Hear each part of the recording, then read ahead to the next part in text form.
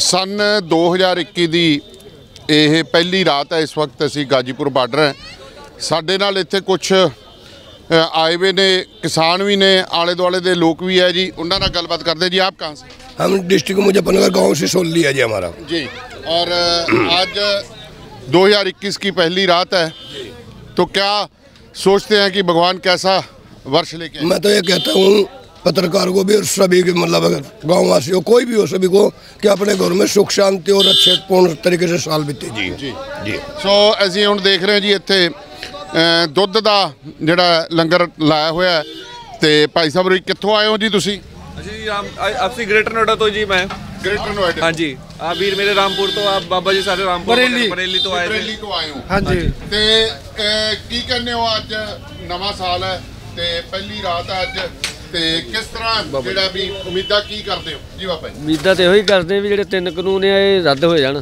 ਜੀ। ਤੇ ਜੇ ਨਾ ਰੱਦ ਕਰੂ ਤੇ ਫਿਰ ਨਵਾਂ ਸਾਲ ਤੇ ਫਿਰ ਤਰ੍ਹਾਂ ਹੀ ਚੱਲਦਾ ਹੀ ਰਹਿਣਾ। ਕੋਈ ਖੁਸ਼ੀ ਵਾਲਾ ਕੰਮ ਨਹੀਂ ਹੈਗਾ। ਕੋਈ ਕਿੰਨੇ ਸਿੰਘ ਆਪਣੇ ਜਿੰਨੇ ਵੀ ਕਿਸਾਨ ਕਿੰਨੇ ਖਤਮ ਹੋ ਗਏ ਵਿਚਾਰੇ ਸ਼ਹੀਦੀਆਂ ਪਾ ਗਏ ਆ। ਤੇ ਕੋਈ ਨਵਾਂ ਸਾਲ ਸਾਡੇ ਵਾਸਤੇ ਕੋਈ ਨਵਾਂ ਸਾਲ ਨਹੀਂ ਜਿੰਨੇ ਚਿਰ ਖੁਸ਼ੀ ਵਾਲਾ ਸਾਲ ਨਹੀਂ ਹੁੰਦਾ ਕੋਈ ਨਹੀਂ ਹੈਗਾ। ਸਾਡੇ ਵਾਸਤੇ। ਕੋਈ ਹਾਂਜੀ। ਕੋਈ ਖੁਸ਼ੀ ਵਾਲਾ ਸਾਲ ਨਹੀਂ ਹੈ। ਨਹੀਂ ਨਹੀਂ ਖੁਸ਼ੀ ਉਹਦੀ ਆਊਗੀ ਜਦੋਂ ਫਿਰ ਕਾਮਯਾਬੀ ਫਤਿਹ ਹਾਂਜੀ ਹੋਊਗੀ। ਕਾਮਯਾਬੀ ਫਤਿਹ ਹੋਊਗੀ ਤਾਂ ਸਾਡੇ ਹੱਥ ਖੁਸ਼ੀ ਆਵੇਗੀ ਸੋ ਬਿਲਕੁਲ ਜੀ ਖੁਸ਼ੀ ਉਦੋਂ ਆਉਣੀ ਹੈ ਜਦੋਂ ਕਾਮਯਾਬੀ ਫਤਿਹ ਜੀ ਆਪ क्या कहेंगे किस बारे में साहब नया साल है क्या उम्मीदें हैं क्या मसला हल होगा किसानों साहब जब तक हमारे बिल वापस नहीं होंगे तब तक हम जाएंगे नहीं ये कमेटी जान है हम तो कमेटी के आदेश में जो कमेटी कहेगी हम उस बात को आदेश में ਉਮੀਦ ਲੈ ਕੇ ਆਏ ਨੇ ਕਿ ਨਵਾਂ ਸਾਲ ਹੈ ਜੀ ਤੇ ਨਵੇਂ ਸਾਲ ਦੇ ਵਿੱਚ ਜਿਹੜਾ ਹੁਣ ਤੁਸੀਂ ਦੇਖਣਾ ਜੀ ਜੀ, ਲਓ ਜੀ, ਲਓ ਸਟicker ਲਓ ਜੀ ਤੁਸੀਂ, ਕਿਉਂਕਿ, ਜੀ, ਸੋ ਤੁਸੀਂ ਇਸ ਵਕਤ ਰੇਡੀਓ ਪੰਜਾਬ ਟੂਡੇ ਵੱਲੋਂ ਜਿਹੜਾ ਹੈ ਜੀ ਜਿਨ੍ਹਾਂ ਦੇ ਸਹਿਯੋਗ ਦੇ ਨਾਲ, ਸਾਡੇ ਲਿਸਨਰਸ ਦੇ ਸਹਿਯੋਗ ਦੇ ਨਾਲ ਅਸੀਂ ਸਟickers ਵੀ ਜਿਹੜੇ ਆ ਵੰਡ ਰਹੇ ਆ ਕੱਲ ਨੂੰ ਝੰਡੇ ਵੀ ਸਵੇਰੇ ਹੈਗੇ ਨੇ ਗੱਡੀ 'ਚ ਕਿਉਂਕਿ ਸ਼ਾਮ ਦਾ ਵੇਲਾ ਸੀਗਾ, ਸੋ ਤੁਸੀਂ ਦੇਖ ਰਹੇ ਹੋ ਵੀ ਲਗਾਤਾਰ ਹੁਣ ਜਿਹੜੀ ਆ ਰਾਤ ਪੈਣ ਲੱਗੀ ਹੈ ਤੇ ਲੰਗਰ ਪਾਣੀ ਪ੍ਰਸ਼ਾਦੇ ਛੱਕ ਕੇ ਅਸੀਂ ਸਟੇਜ ਵੱਲ ਨੂੰ ਜਾ ਰਹੇ ਹਾਂ ਤੇ ਤੁਸੀਂ ਹੁਣ, ਕਿਉਂਕਿ ਮਾਹੌਲ ਜਿਹੜਾ ਹੈਗਾ ਹੁਣ ਇੱਕ ਵਾਰੀ ਆਰਾਮ ਕਰਨ ਦਾ, ਪਰ ਖੁੱਲੇ ਅਸਮਾਨ ਦੇ ਥੱਲੇ ਕਿਵੇਂ ਜਿਹੜੇ ਨੇ ਕਿਸਾਨ ਆਪਣੀਆਂ ਜਿਹੜੀਆਂ ਰਾਤਾਂ ਬਤੀਤ ਕਰ ਰਹੇ ਨੇ, ਤੁਸੀਂ ਸਾਰਾ ਇਹ ਜਿਹੜਾ ਮੰਜ਼ਰ ਕਹਿ ਸਕਦੇ ਆ ਹਾਲਾਤ ਨੇ ਮੌਕੇ ਦੇ, ਇਹ ਤੁਸੀਂ ਦੇਖ ਸਕਦੇ ਹੋ। ਸੋ ਵੱਖ-ਵੱਖ ਥਾਵਾਂ ਦੇ ਉੱਤੇ ਤੁਸੀਂ ਦੇਖ ਰਹੇ ਹੋ। ਕਿ ਪ੍ਰਸ਼ਾਦੇ ਦੇ ਪੂੜੀਆਂ ਜੀ, ਬਸ ਲੈਤੇ ਹਾਂ ਜੀ। ਸੋ ਹਰ ਤਰ੍ਹਾਂ ਦਾ ਜੀ ਜਿਹੜਾ ਹੈਗਾ, ਉਹ ਇੰਤਜ਼ਾਮ ਕੀਤਾ ਗਿਆ। ਜੀ ਜੀ ਜੀ। ਜੀ। ਸੋ ਲਓ ਜੀ, ਲਓ। ਆਪਾਂ ਹੋਰ ਅੱਗੇ ਜਾ ਕੇ ਗੱਲਬਾਤ ਕਰਦੇ ਹਾਂ, ਕਿਉਂਕਿ ਇੱਧਰ ਕਿੱਥੋਂ ਆਏ ਹੋ ਜੀ ਤੁਸੀਂ? ਅਸੀਂ ਇੰਦਰਾਪੁਰਮ ਤੋਂ ਹੀ ਆਏ ਹਾਂ ਜੀ। ਜੀ। ਹਾਂਜੀ। ਇੱਥੇ ਆਏ ਹੋ? ਕਿਸਾਨਾਂ ਦੇ ਨਾਲ ਅੱਜ ਬਿਲਕੁਲ ਅਸੀਂ ਕਿਸਾਨਾਂ ਦੇ ਨਾਲ ਹੈਗੇ ਹਾਂ ਜੀ ਇਸ ਲਈ ਉਹਨਾਂ ਨੂੰ ਸਪੋਰਟ ਕਰਨ ਹੀ ਆਏ ਹੈਗੇ ਹਾਂ। ਜੀ। ਅਸੀਂ ਰੋਜ਼ ਹੀ ਆਈਦਾ ਆਲਮੋਸਟ ਬਟ ਅਸੀਂ ਹੁਣ ਇਹੀ ਚਾਹਾਂਗੇ ਕਿ ਇੰਨੀ ਠੰਡ ਨੂੰ ਦੇਖਦੇ ਹੋਏ ਕਿਸਾਨਾਂ ਦਾ ਫੈਸਲਾ ਜਲਦੀ ਕੀਤਾ ਜਾਏ। ਬਹੁਤ ਮੁਸ਼ਕਿਲ ਹੈਗਾ ਉਹਨਾਂ ਦੀ ਮੰਗ ਪੂਰੀ ਕੀਤੀ ਜਾਏ ਹੁਣ ਤੇ। ਹੁਣ ਸਾਡੇ ਇੱਕ ਕਿਸਾਨ ਸ਼ਹੀਦ ਵੀ ਹੋ ਗਏ ਨੇ। ਹਾਂਜੀ। ਕੱਲ ਸਾਨੂੰ ਉਹਨੂੰ ਪਤਾ ਚੱਲਿਆ ਲੇਕਿਨ ਦੁੱਖ ਦੀ ਗੱਲ ਹੈ ਹੁਣ ਤੱਕ ਮੋਦੀ ਜੀ ਦੀ ਅੱਖਾਂ ਨਹੀਂ ਖੁੱਲੀਆਂ। ਹੁਣ ਉਹਨਾਂ ਨੇ ਸਾਡੀ ਗੱਲ ਮੰਨਣੀ ਚਾਹੀਦੀ ਹੈ ਕਿਸਾਨਾਂ ਦੀ। ਜੀ। ਤੇ ਇੱਥੋਂ ਦੇ ਜਿਹੜੇ ਇੰਦਰਾਪੁਰਮ ਦੇ ਲੋਕ ਨੇ ਇੱਥੇ ਕਿਸਾਨ ਬੈਠੇ ਨੇ ਉਹ ਕੀ ਸੋਚਦੇ ਨੇ ਇੱਥੇ ਬੈਠੇ ਕਿਸਾਨਾਂ ਬਾਰੇ? ਕੀ ਉਹਨਾਂ ਨੂੰ ਤਕਲੀਫ ਤਾਂ ਨਹੀਂ ਕੋਈ? ਜਾਂ ਹਮਦਰਦੀ ਹੈ ਜਾਂ ਕਿਸ ਤਰ੍ਹਾਂ ਦੀ ਜੀ? ਬਿਲਕੁਲ ਜੀ ਹਮਦਰਦੀ ਵੀ ਹੈਗੀ ਹੈ ਪਰੇਸ਼ਾਨੀ ਵੀ ਦੇਖ ਰਹੇ ਹੈਗੇ ਉਹਨਾਂ ਦੀ ਬੜੀ ਪਰੇਸ਼ਾਨੀ ਵੀ ਪਰ ਇਹ ਵੀ ਹੈ ਕਿ ਸੰਗਤ ਇਹ ਲੋਕ ਜਿਹੜੇ ਵੀ ਇੱਥੇ ਦੇ ਹੈਗੇ ਕੋਈ ਇਹਨਾਂ ਨੂੰ ਦਿੱਕਤ ਹੋਣ ਨਹੀਂ ਦੇ ਰਹੇ।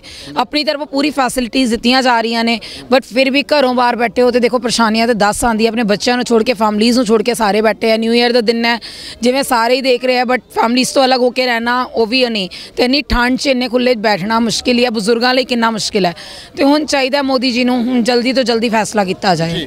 ਬਿਲਕੁਲ, ਬੱਚੇ ਵੀ ਨਾਲ ਨੇ, ਬੱਚਿਆਂ ਨੂੰ ਵੀ ਇਹ ਚੀਜ਼ ਦੇਖਣਾ, ਸੰਘਰਸ਼ ਦਾ ਪਤਾ ਚੱਲੂਗਾ ਕਿ ਲਿਖਣਾ ਵੀ ਇਹਨਾਂ ਨੇ ਹਿਸਟਰੀ ਬਣਾਉਣੀ ਹੈ। ਸੋ ਅੱਗੇ ਚੱਲਦੇ ਹਾਂ ਜੀ, ਆਪਾਂ ਨਾਲ ਦੀ ਨਾਲ ਕੁਝ ਹੋਰ ਤੁਸੀਂ ਦੇਖ ਰਹੇ ਹੋ ਕਿ ਅਲੱਗ-ਅਲੱਗ ਜਿਹੜਾ ਉੱਤਰਾਖੰਡ ਹਰਿਦੁਆਰ ਤੋਂ ਆਏ ਨੇ ਅਹ, मैं बोलूँ सर ਜੀ ਬੋਲੀਏ ਜੀ ਬੋਲੀਏ देखो जी किसान ने हमारे किसान हमारे बैठे हैं और किसान को कोई बात ना मिला मोदी जी क्या कर रहे हैं अब भाई मोदी जी क्या कर रहे हैं मोदी जी को बुलाइए अब किसान को देख लेना और अब कि- किसान को देख लेना किसान क्यों बैठे हैं जाले में एक किसान हमारा मर गया पुल के नीचे ਜੀ आज हमको पता चला है किसान क्यों मरे आप बताओ ਜੀ जी आप किसान किसान क्यों मरे हमारे आप बताइए और वहाँ जाके के बैठा है कुर्सी पे आइए मोदी जी आइए और मोदी जी को बुलाइए क्यों ना बुला लो मोदी जी ਜੀ ਬਿਲਕੁਲ ਹ- ਆਪਾਂ ਹੋਰ ਇਸ ਤਰ੍ਹਾਂ ਅੱਗੇ ਚੱਲਦੇ ਹਾਂ ਕੁਝ ਇੱਥੇ ਦੇਖ ਰਹੇ ਹੋ ਕਿ ਅਨਿਸ਼ਚਿਤ ਕਾਲੀਨ ਧਰਨਾ ਪ੍ਰਦਰਸ਼ਨ ਹੈ ਸਾਧੂ ਲੋਕ ਵੀ ਇੱਥੇ ਆਏ ਨੇ ਮੈਂ ਕੈਮਰਾਮੈਨ ਰਾਮ ਸਿੰਘ ਗਿੱਲ ਨੂੰ ਕਹੂੰਗਾ ਕਿ ਉਹ ਦਿਖਾਉਣ ਸਾਰਾ ਕੁਝ ਵੀ ਇਹ ਜੀ आप जी सो साधु संघर्ष में आना एक बहुत बड़ी बात होती है बिल्कुल बड़ी बात है अगर साधु संघर्ष नहीं करेंगे तो किसान लुट जाएगा बर्बाद हो जाएगा। ये फेंकू सरकार है झूठ बोलने वाली सरकार है इसने सब कुछ तो बेच दिया। अभी किसानों को जब मजदूर बनाना चाहती है ये हम सन्यासियों से देखा नहीं गया इसलिए हम लोग मैदान में आ गए हैं। और हम तब तक यहाँ डटे रहेंगे जब तक किसान बिल वापस सरकार नहीं कर लेती है। जी आप कहाँ से बौद्ध भिक्षु सुमित रतन मेरा नाम है हम लोग लखनऊ से आए उत्तर प्रदेश से हैं। जी जी। कितने लोग आएँगे हम लोग पचास लोग आए हैं। गाड़ियाँ लेके आए हैं। जी, जी। आप क्या कहेंगे? मैं भी जो बंते जी ने कहा है, मैं भी यही कहना चाहता हूँ कि इस सरकार को समझना पड़ेगा। इस, इन, ये इन ये जो कानून है, इसको वापस करना ही पड़ेगा, क्योंकि बिना किसान के मांगे हुए ज़बरदस्ती इन कानूनों को उसने, उन्होंने थोपा है। कुछ चार लोगों को पूरे देश का पैसा पूरे देश की सब संपत्ति चार लोगों को के हवाले करने के लिए कानून बनाए गए हैं। इनको वापस लेना ही पड़ेगा क्योंकि सभी लोग किस पूरा सब किसान सब इनकी ये झूठे और जुमलेबाजी को झूठ को सब जान गए हैं। किसान ही समझ चुका है या सारा हिंदुस्तान समझ चुका है? उनके जो मानसिक गुलाम हैं उनको छोड़ के बाकी पूरा देश समझ गया है। ना अर्थात 90 परसेंट लोग जानते हैं समझ गए हैं।